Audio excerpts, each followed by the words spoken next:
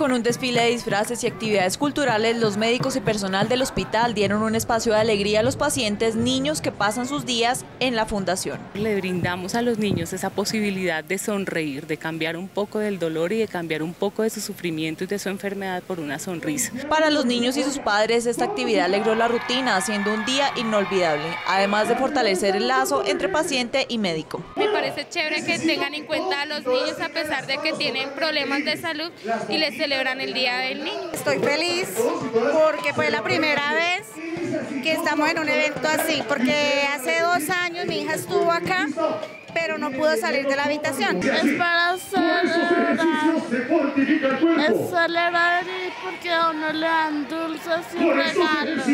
El Día Dulce, como lo llama el hospital, se celebra hace 15 años para todos los niños que se encuentran recibiendo los servicios médicos de la fundación.